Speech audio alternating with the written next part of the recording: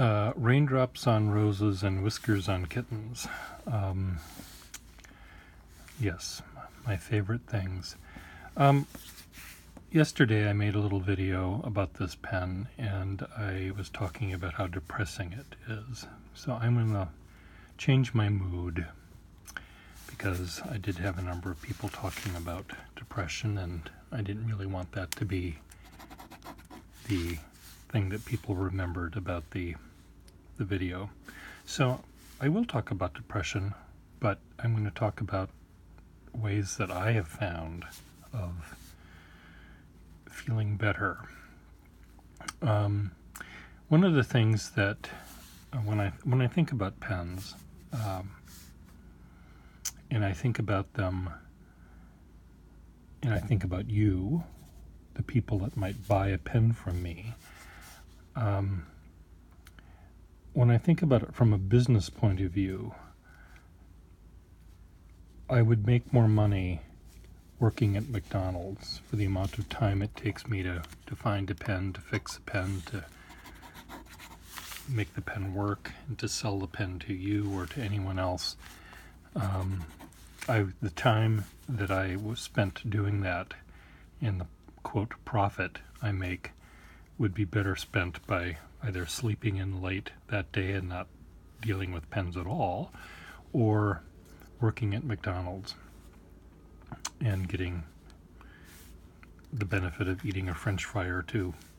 But what makes me smile is not the business end of selling a pen to you, but the fact that I know that the pen, when it's in your hands, is going to do marvelous things. And so selling pens to artists, to calligraphers, to sometimes to collectors, though lesser than a pen that's being sold to someone who's going to be using it. Um, selling a pen to a collector, I don't get the joy of convincing the person that they've got this magnificent thing that's in their hands that they've never uh, experienced before. Collectors have pens that are much nicer than this, much rarer than this, uh, much more valuable than this. And many collectors don't actually write with the pens, so they don't get any joy out of the actual nib. Uh, or the experience of the word that they write or the uh, picture that they draw. But um, so the joy for me is not a financial joy. If I if I thought about it as a business, I would really be depressed. But it's about getting the pen in the right hands. So that's always fun. I just have to forget about the the business end of it. Another person suggested that I take this pen out and write with it because this would make me smile. And it's a lovely pen. It also has a very, very nice nib, very, very springy. It's a pen that I'm a little bit afraid of using myself because um, it's so springy, and uh, I sometimes distrust. I don't distrust the nib. It's my my own um, fear of damaging it somehow. But thank you, Todd, for suggesting I take this out, and it does make me smile. It makes me smile more. This is where my where I start acting like a pen collector, not a pen user um, because it's so beautiful. This is in such nice shape. Yes, it has the wrong lever. It was missing the lever when I bought it, and I haven't f- found the right lever to put in it. The lever works perfectly fine, but it needs a, a lever that's a few, a decade earlier. But wow, what a lovely pen. GWW is engraved in the top there beautifully engraved. It's lovely condition. beautiful nib that scares me. So let's look at this pen. This pen doesn't scare me at all. It's, but it really makes me smile because it has this very, very fine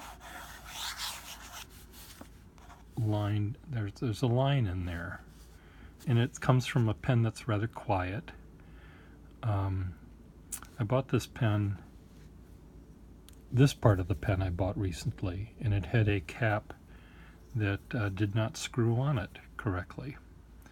So uh, I found a, a, cap in my parts bin that works perfectly fine, and it also is the correct cap. The other cap that it was that it had was not correct um, for a number of reasons, which I won't go into. So this is now, even though these two never existed uh, together, until I put them there 70 years after the fact, or 60 years after the fact. It works better now than it did when I got it. It's a uh, lifetime Sheaffer. Does it have a lifetime nib? It does have a lifetime nib. Sometimes I I end up putting the wrong cap that has a lifetime dot on it on a pen that isn't a lifetime nib. Um, this one, however, does. This is correct. Um, my Frankenpenning, yes, sometimes I do put the wrong cap. You know, it's missing some. If it if this had did not have that little white dot there, it would not be the correct cap for this pen. Even though it would work perfectly fine, it would not be correct. Um, sometimes in the world of pen repair, you don't have a choice. You don't have the exact cap. So you put a cap that works perfectly fine. It's just missing that white dot. But look, look at this line it makes. Beautiful. There was so much. I'm just laughing at my, my scribbles my there was a, a, customer, not a customer. There was a viewer of a uh, friend of mine. Mine does uh, fountain pen posts, and he sandwiched in some of my handiwork along with his handiwork, and the the comment on the YouTube posting that had hit us. He said, I'm sorry, but looking at Mr. Gustafson's scribbles makes me lose the will to live. Excuse me. Which was a little bit funny, I thought, um, because my things don't say anything. Well, they don't have to say anything. You know, I'm getting in my car not to go to the grocery store to buy that milk I need for my Captain Crunch cereal. I'm going in my car because I want to take a drive in it. That's what I do with these pens often. I drive. I just roll down the windows and point it in a direction, turn off Google Maps, and I just have fun. Um, and my Cheerios or my Captain Crunch at home remains milkless because I don't actually go anywhere in my car. I just drive it. And that's what I love doing with these pens. Often you'll find pages and pages and pages of, of things that are meaningless, except that while I use the pens, I'm smiling. I am smiling.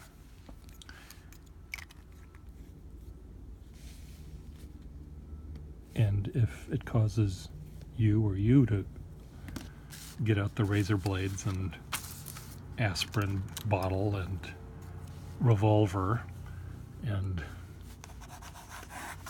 aim it at your head, that's not my problem.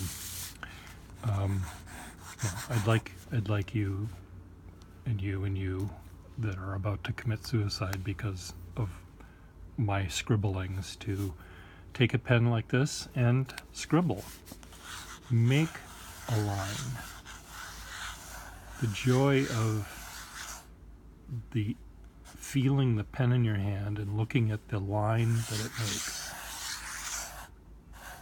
Uninterrupted line is really, it's really a joy. Is it not? You understand it, you understand it. You with the gun in your hand, I need to help you a little bit longer, a little more. I have to. So, what is it about just scribbling that is is of value? Well, I'm I'm thinking, you know, don't pull that trigger yet. I, it's just taking me a little bit of time to try to come up with the words to convince someone who who thinks about a pen as a tool to do a specific task rather than as a tool to appreciate. Now, I don't want. I'm not trying to turn you into a pen collector. You know, people that collect hammers, for example. Do I have a hammer here? No.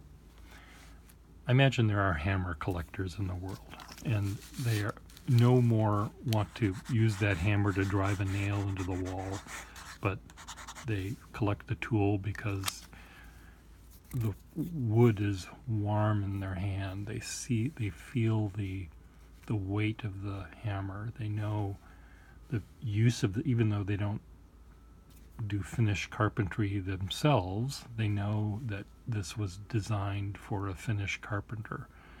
Where where that other hammer they have in their collection is a sledgehammer and used to break up rocks. Um, they don't need to break up rocks or drive a nail into that two by four. Um, so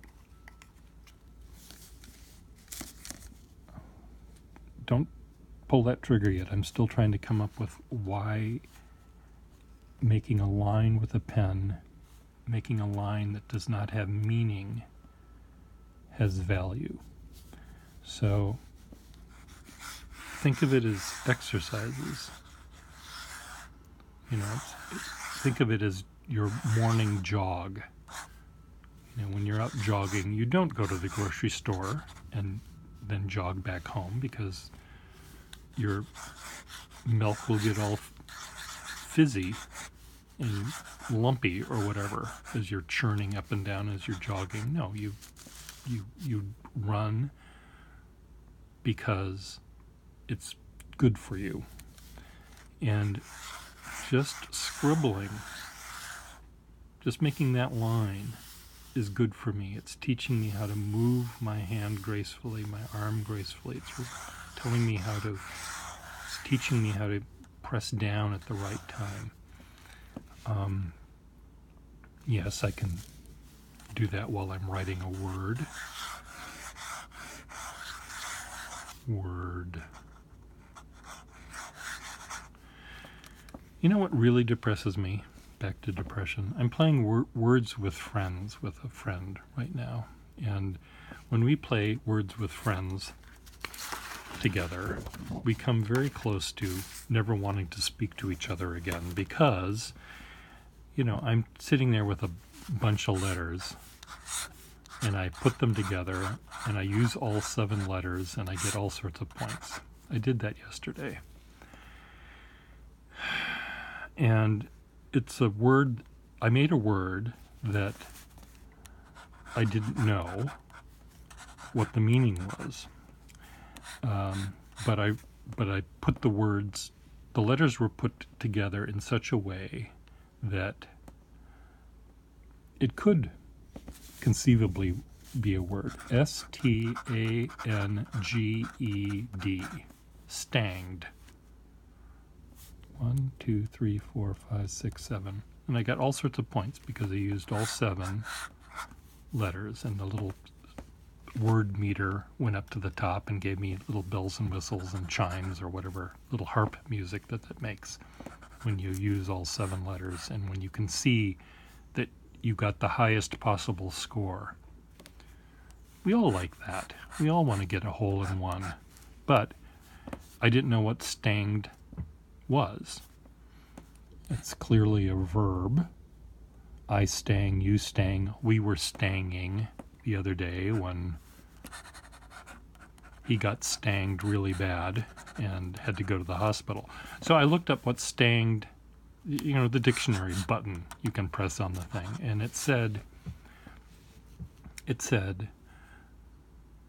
that this word is a valid word in our game, but it has no meaning. And we're working on our dictionary to come up with it. Well, no. N O. N fucking O. No. That is not a word. It should not have allowed me to play it. Because it does not have a meaning yet. So that depresses me. and, and yet I did it because I got all these points. But I don't understand why this Words with Friends allows words that do not have meanings. And then when you use a word like stanged,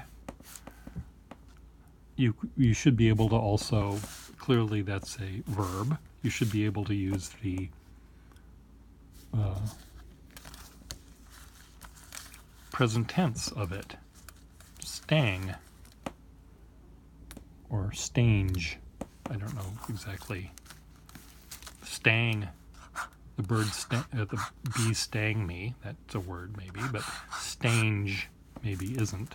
But or when you have you put a word with friends that is a valid word, but they don't have a definition, and you put an S on it. Well, clearly you've got two of those things that don't exist yet.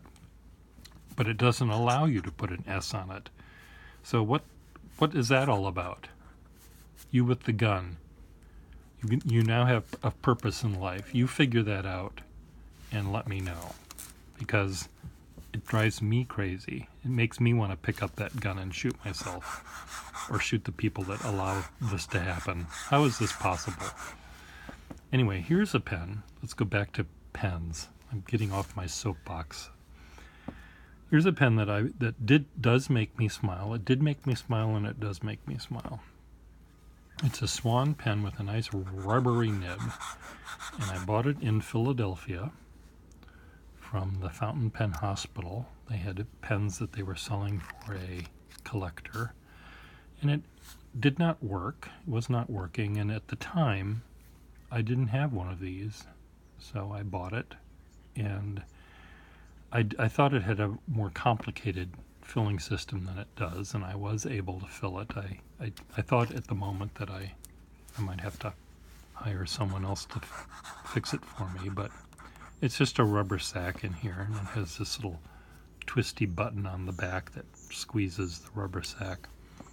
I thought it was a piston thing of some sort, but it's really a nice, flexible, as you can see, flexible um, gold nib, and it's a very rounded tip that I really like drawing with this pen because it's so uh, rubbery. And there's a certain there's a weight that this pen has that it it seems heavier than it should. When you pick it up when I pick it up it just has it weighs a little tiny bit more than I expected it to weigh and what is why is that important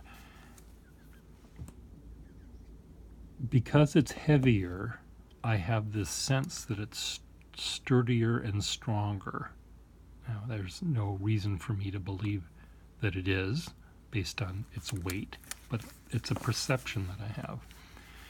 And that little tiny bit of weight adds a little tiny thought in my head, which makes me be a little bit more aggressive with how I draw it. Look at that smeared.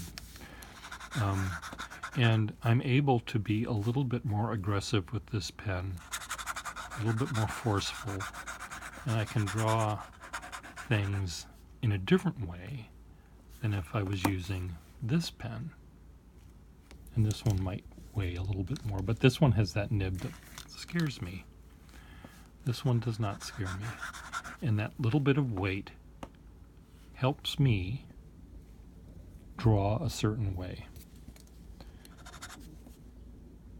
Or make lines that make you want to shoot yourself. But now you have you have a purpose in life. You have to figure out why these words are allowed.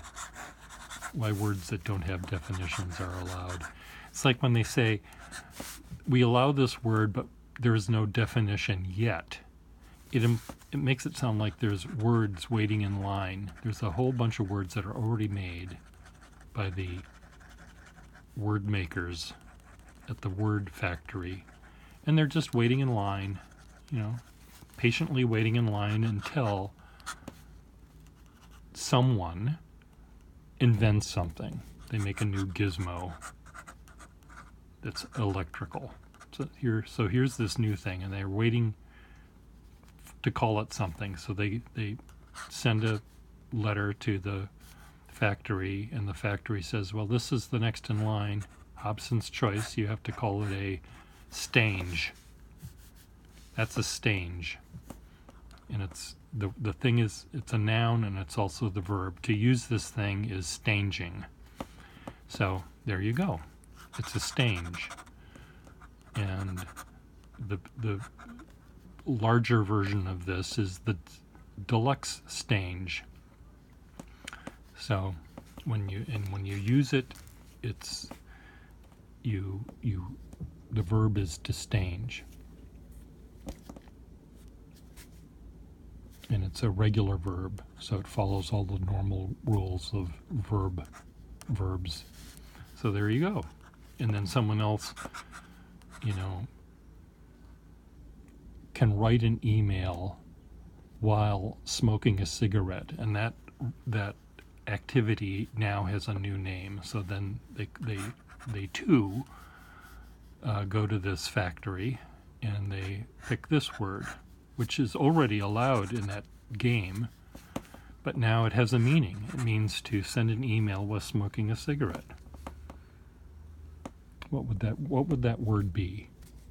Would that be staging? Maybe that maybe that was in line. Maybe that was the need first before this thing was invented and staging. I, you know, I, I really have to give up staging because, you know, I cough too much while I'm writing my emails. So, or when I want to have a cigarette, I don't like writing emails. I don't like staging. I just want to smoke. So, anyway, it, it drives me mental you can tell that, can't you? Staging.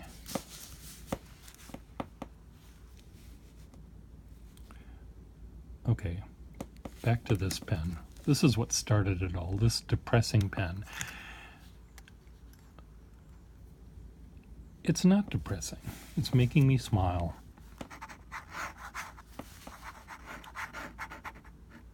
Look at that nib. It's really, I mean, it's writing better now than it was the other day, yesterday. It's not giving me the, the same joy that this one gives me, though. This one has, it's, it's fine. It's fine is finer. So if I if I had to say goodbye to one of these, I'd say goodbye to this one first. Even though they're they're quite similar in terms of how they write, except this one is a little bit finer. So, is everyone okay? The guns are down, the razor blades are are put back in the bathroom. The uh, pills are put away. Like you put your gun down, right? Because you're now trying to figure out the words thing. So everyone's okay? Everyone's fine? That person who lost the will to, will to live because I don't make words with my scribbles, are you okay? You now know why I do this. It's instead of jogging, instead of going to the gym and lifting up a really big heavy thing and putting it right back where I found it. That's I could be doing that over and over and over again, but that would that would cause me to lose my will to live, let me tell you. I go through all this trouble to lift this big heavy thing and I put it right back. Dumb. You know, build a wall. Take you know, use those muscles to lift a big heavy rock and move it over to where that other big heavy rock is and then you could do that over and over again and you'll have a nice wall. Well, huge wall. Beautiful wall. Right? Bye.